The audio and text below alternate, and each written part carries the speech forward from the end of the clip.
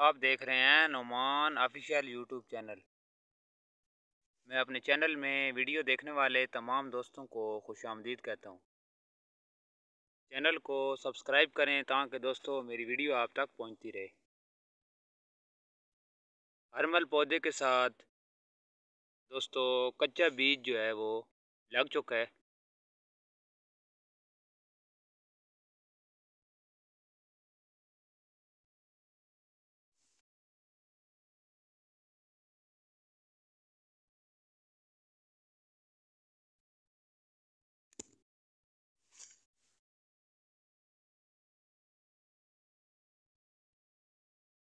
ये दोस्तों, कच्चा बीज है।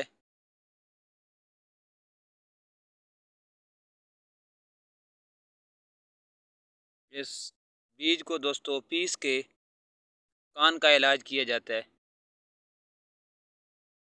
इसको पीस के सरसों के तेल में मिक्स करके कान में कतरे डाले जाते हैं, जो लोग बहरे होते हैं। ये बहरेपन का इलाज है। अभी तक दोस्तों, जो बीज है, ये अभी तक कच्चा है। जिस टाइम पक जाएगा तो दोस्तों फिर वो बीज जो है वो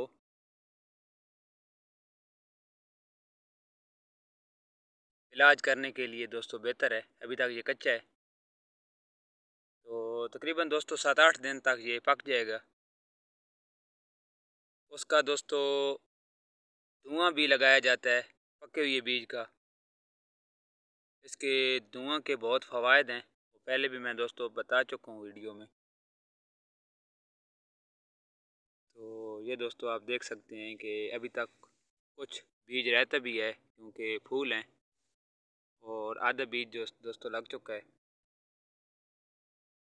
ये आप दोस्तों पकेगा तो फिर दोस्तों मैं इसकी कटाई करूँगा फ़सल की। ये सारी ज़मीन में दोस्तों हरमल की फ़सल मैंने काश्त की हुई है। ये दोस्तों आप देख सकते हैं। इसका दोस्तों बीज जो है ये पक जाएगा तो फिर दोस्तों मैं इस सारी फ़सल की कटाई करूँगा। फिर मैं दोस्तों आपको वीडियो बना के दिखाऊँगा इसका जो बीज है, ये बिकता है। मुख्तलिफ़ किस्म की अद्वियात में इस बीज का इस्तेमाल किया जाता है। और ज़्यादातर दोस्तों इसका धुआँ लगाया जाता है और कान के इलाज के लिए इस बीज को, पके हुए बीज को इस्तेमाल किया जाता है।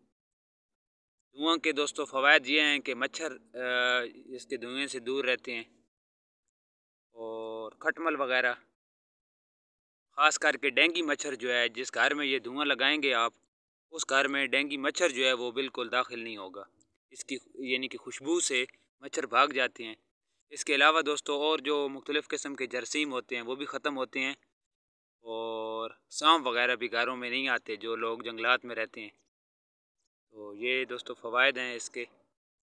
और ये फ़सल दोस्तों अब आखिरी मराइल में है, पकेगी तो फिर मैं इसकी कटाई करूँगा।